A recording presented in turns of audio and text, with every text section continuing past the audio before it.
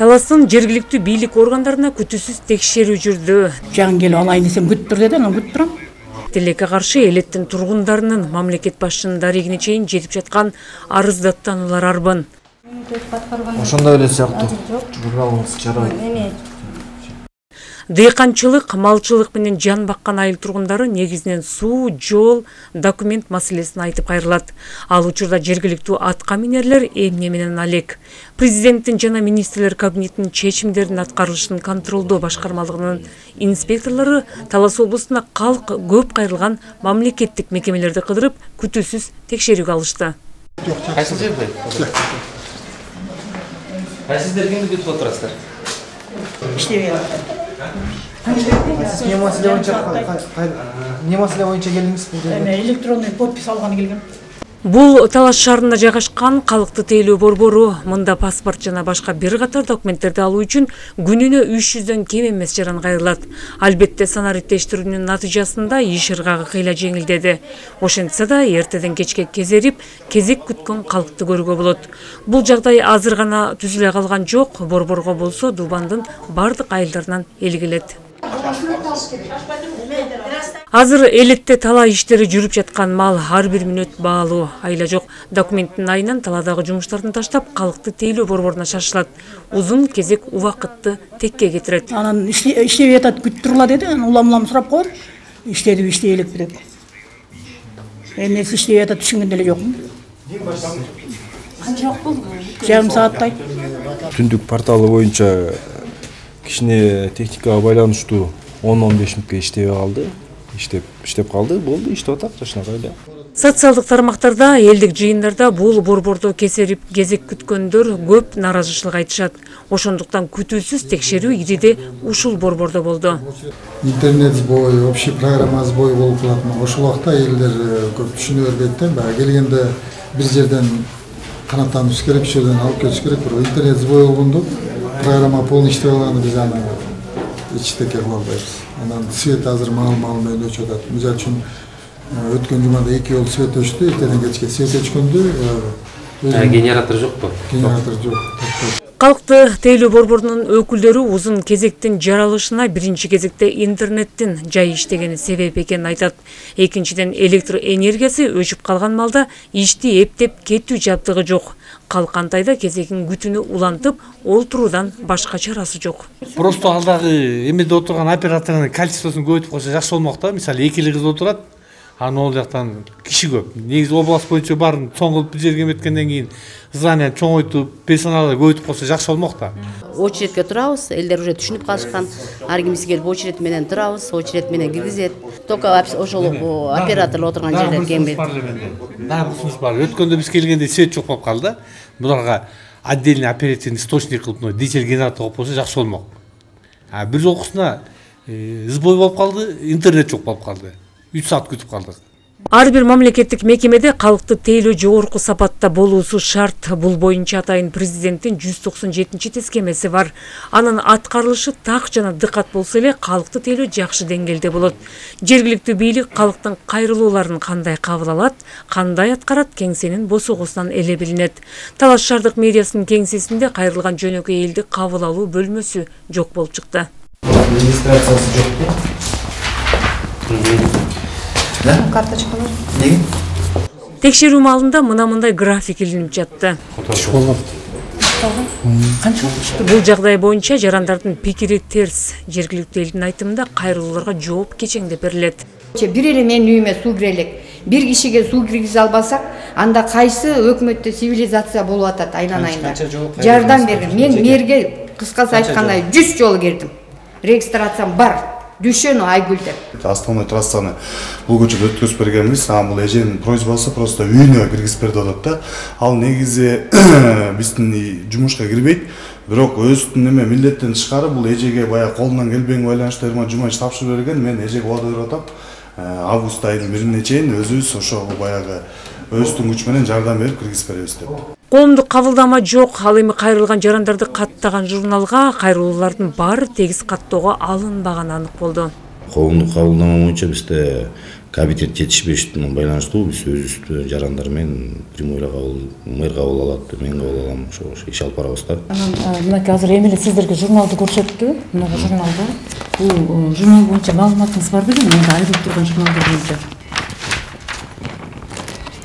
журнал турган мага чейин иштеп аткандачы ошо менен че то бир эмесин азыр эске албап туркушум текшерүү учурунда талаш шаардык мэриясы имараттын кире беришиндеги бош кабинетти коомдук кабылдама бөлмөсү катары эми уюштура турган болду коомдук кабылдама талас райондук администрациянын имаратында дагы жок болуп чыкты сизге да суроо кыргыз республикасынын президентинин тескемеси эмне үчүн аткарылбай калды ошо коомдук кабылдама деп ачылбаган э, кабинетибиз ошо кабинеттин жетишсиздигинен болуп атат. Эми буну да караштырып азыркы күндө баягы атайын шарттарды түзүп күнгө аракет кылып атабыз ал эми бул имарат бакай ата райондук администрациянын имараты. Район башчылары эң жогорку кабатта отурат аким эс алууда болгондуктан анын биринчи орун басарына борбордон келген текшерүүчүлөр кайрылышты. Пронумерованный пронумерованный номуру мындай деп регистрация регистрацияны өчүш керек. Эмнеге жок иә. Райондо тогуз айыл өкмөт бар. Жайыт жана башка жерлер боюнча талаш тартыштар ушул райондо айрыкча көп экенин облустук прокуратура элдик жыйындарда белгилеп келет. Акимге кайрылгандар ооз эки гана кайрылабы. Атайын коомдук кабылдама боюнча каттоо журналы тийиштүү деңгээлде жүрбөгөнү бир эле караганда белгилүү болду. Ошондой эле сыяктуу. Бакай ата райондук администрациясы түйшөлткөн тигил же бул суроо боюнча кайрылгандарды кайда кабыл алат? Коомдук кабылдама делген кабинети тааныштырылды имараттын кире беришинде болуш керек. Бул коомдук кабылдаманын максаты эмнеде билесиз да эмнеде эл менен байланыш болуш үчүн. сиздер бул жерде эмне үчүн отурасыздар? Мына элдин көйгөйүн чечүү үчүн туурабы ошон үчүн түздөн түз бул. Конституцияда жазылган аларга мындай шарттар түзүлүш керек да эки үч киши гана батчу чакан кабинет кезек күтүүчүлөр далисте гана туруп күтүүгө аргасыз болот. Эң өкүнүчтүүсү коомдук кабылдама биринчи кабатта эмес төртүнчү кабатта. Текшерүүчүлөр келген элге эмес акимге ыңгайлуу турган коомдук кабылдаманы биринчи кабатка уюштурууга эскертүү беришти. Төртүнчү этаж анткени администрацияга э, биринчиден акимдин э, приемныйына жакын болуп и биринчи этаждан биз бүгүнкү күндө жаңы бөлөк кызматтык бөлмө азыр белгилеп кетишти бул текшерүүнүн жыйынтыгы менен биринчи этажга бир кызматтык бөлмөгө атайын. Маселени чечип биринчи этажга түшүрөбүз журнал боюнча азыр бул текшерүүдө белгилеп кетишти жанагындай мыйзам талаптарына ылайык прошнуровать этип печать менен конкрет оформить этип ал кемчиликти четтетебиз айтматов районунда дагы аким иш ордунда эмес эс алып жүргөн экен текшерүүчүлөрдү биринчи ордун басары кабыл алды. Эмне болуп атат бул жерде эмне маселе болуп атат эжеке кандай көйгөйлүү маселелер бар айтыңыздар президентке жеткиребиз жок жок түшүрө эле керек эч кандай неме жок ушундай жакшы немелер иштей берсин өзү берсин кыргызстандан жарайт эжеке макул анда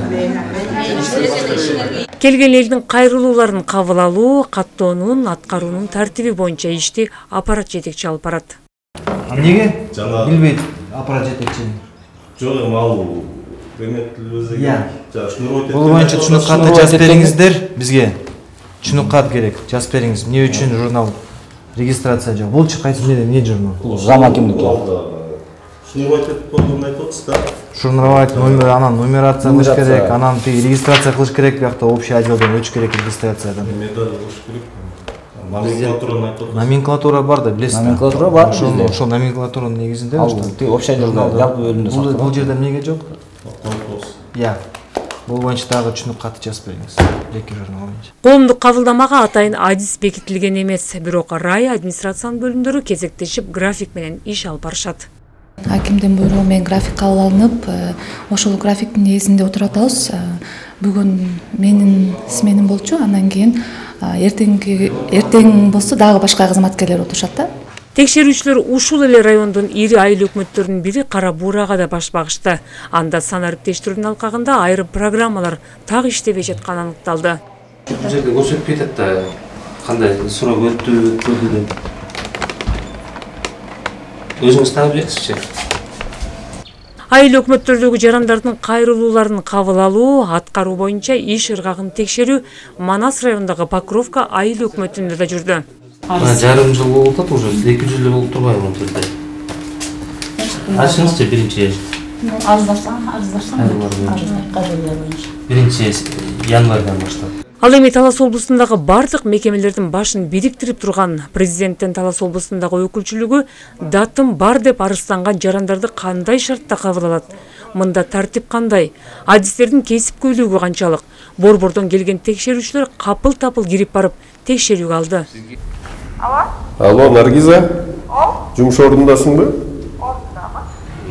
Арызданып келген жарандар кайсыл күнү кабыл алынат график илинген бул күндөрү жалпы бөлүмдүн адистери кайрылууларды каттайт келген элге ыңгайлуу болуусу үчүн биринчи кабатта коомдук кабылдама уюштурулган сиздердин бул өзүңүздөрдүн коомдук кабылдамаңыздар боюнча баары жакшы иш тийиштүү деңгээлде алып барылып атат экен эйгар мукту өкүл өзү жарандар менен тыгыз иштеп кабыл алуун постоянно жүргүзүп атат экен бирок могул райондордо ушул тескеменин аткарылышы боюнча эч көзөмөл жок да сиздер тараптан ошондой эле текшерүү маалында аныкталган мамлекеттик кызматкерлердин ишиндеги шалаакылык жагдайларга текшерүүнүн жыйынтыгы менен чара көрүлөт райондогу айрым мамлекеттик кызматкерлер министрлер кабинетинин төрагасына ишти толук так алып бара албагандыгы боюнча түшүнүк каттарды жазды. Ал арада жай каптап катуу таасир эткенби талас облусунун акимдери толугу менен эс алууда экен. Салика сариева айлхан арыстанбеков ала тоо жыйырма төрт талас облусу